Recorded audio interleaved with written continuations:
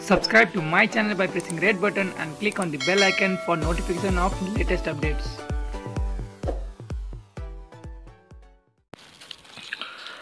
प्रधानमन्त्री तथा नेपाल कम्युनिस्ट पार्टीका अध्यक्ष केपी शर्मा ओली र वरिष्ठ नेता माधव कुमार नेपालबीच मङ्गलबार बालुवाटारमा चार घण्टा एक्ला एक्लै वार्ता भएको छ नेकपाका पूर्व एमालेका यी दुई नेताबीच सम्बन्ध चिसिएको तीन महिनापछि लामो भेटवार्ता भएको हो।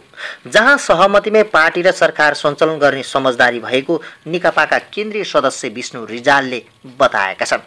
प्रधानमन्त्री ओलीकै पहलमा भएको भेटवार्तामा विगतमा तिग्धताको समेत समीक्षा गर्दै पार्टीलाई एक ढिक्का पार्नका लागि मिलेर जानुपर्ने समझदारी भएको छ।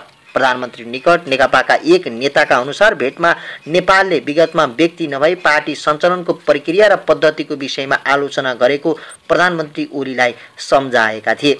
उनले त्यस्तो पद्धति र प्रक्रिया सञ्चालनको नेतृत्व अध्यक्षबाटै हुनुपर्ने तर्क गरेका छन्। दुई नेताहरूबीच पार्टी सरकार र देशको पछिल्लो अवस्थाबारे गहिरो छलफल भएको छ रिजालले भने।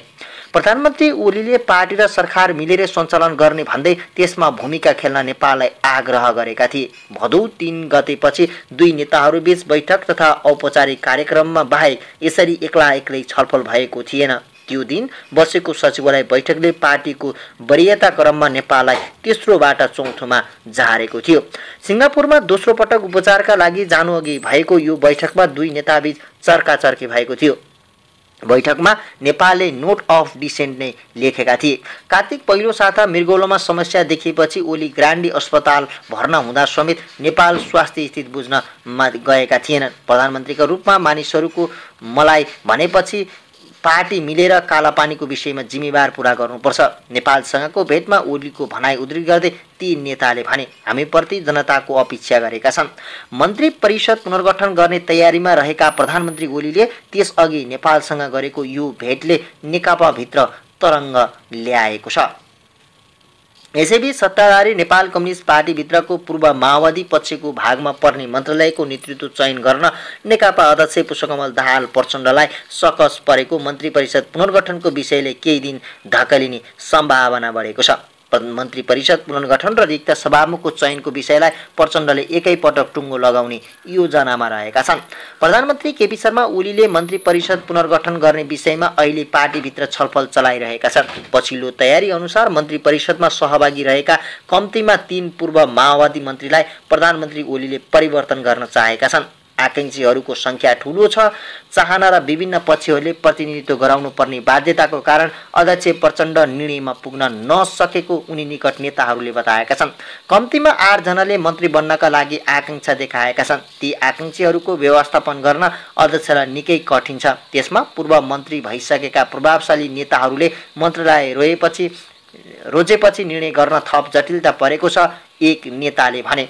आपसी छलफल भए पनि कुनै निष्कर्षमा पुग्न नसकेको प्रचण्ड निकट नेताहरू बताउँछन्। पूर्व माओवादीबाटै सभामुख चयन गर्न चाहेका प्रचण्ड एकैपटक निर्णय गर्ने योजनामा छन्। चारित्रिक कारणले कृष्णबहादुर महराले असोज चौध गते राजीनामा दिएपछि सभामुख पद खाली रहेको छ।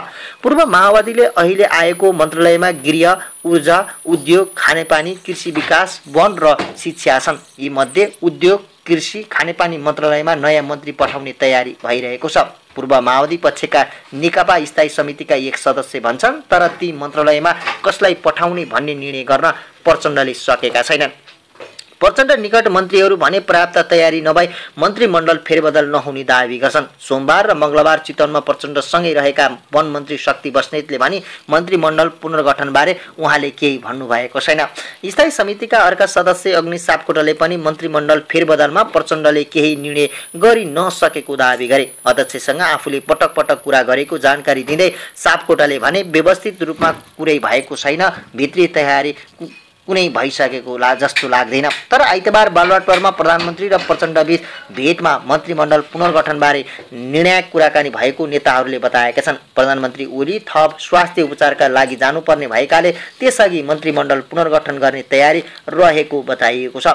बङ्गलादेशका राष्ट्रपति मोहम्मद अब्दुल हदिमको मङ्गलबारदेखि सुरु भएको चार दिने नेपाल भ्रमणले त्यसलाई केही दिन पर धकलेको हो। आफू निकट नेतामध्ये मन्त्री बन्न धेरै आकाङ्क्षी भएपछि प्रचण्ड दैनिक परामर्शबाट पनि निष्कर्षमा पुग्न सकेका छैनन्।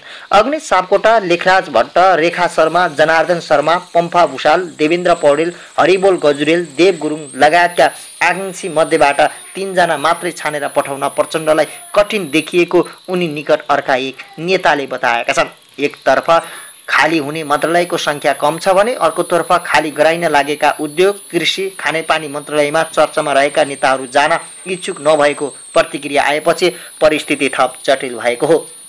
पम्प भूषाल जनार्दन शर्मा देवेन्द्र पौडेलले अहिले खाली गराइन लागेका मन्त्रालयमा त्यति रुचि देखाएका छैनन्। यसबाहेक अध्यक्ष प्रचण्डले मसँग कुरा गर्नुभएको छैन। कुरा भए मेरो धारणा राख्नेछु भूषालले भनिन्। सबै पक्षलाई मिलाएर समावेशी अनुहार खोज्नु प्रचण्डका लागि अर्को चुनौती हो। अहिले सुदूरपश्चिमबाट मन्त्री नबनाइएकोमा हालै धनगढी गएका बेला गुनासो झेलेका प्रचण्ड अब पुनर्गठन गर्दा त्यसलाई सम्बोधन गर्नुपर्ने दबावमा देखिएका छन्। मन्त्रीमण्डल फेरबदलको चर्चा चुलिएपछि अध्यक्ष प्रचण्डलाई भेट्न लेखराज भट्ट सोमबार खुमाल्टा निवासमै पुगेका थिए।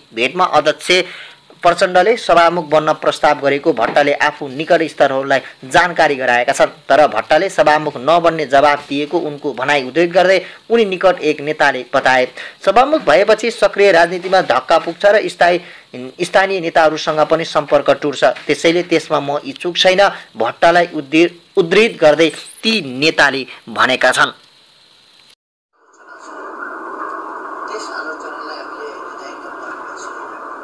चाहे जस्तो गति लिन सकेका छैन भन्ने आलोचनाभित्र अझ गतिका साथ सरकार चलोस् भन्ने धारणा छ। त्यो सरकार अझ बढी गतिका साथ अगाडि जानु पर्दछ। बोलेका कुराहरू रेकर्डेड हुन सक्दछन्? गरेका काम कारवाहीहरू रेकर्डेड हुन सक्दछन्? तिनको भिडियो लिइएको हुन सक्दछ? उम्किने ठाउँ नहुन सक्दछ? सबैले होसियार हुन भ्रष्टाचारप्रति सुन्ने सहिष्णुता त्यो खालि लिप सर्भिस होइन। यो व्यवहारिक रूपमा चालिने कदम हो। त्यसकारण हामी स्वच्छता सुशासनको सम्बन्धमा शान्ति स्थिरताको सन्दर्भमा एउटा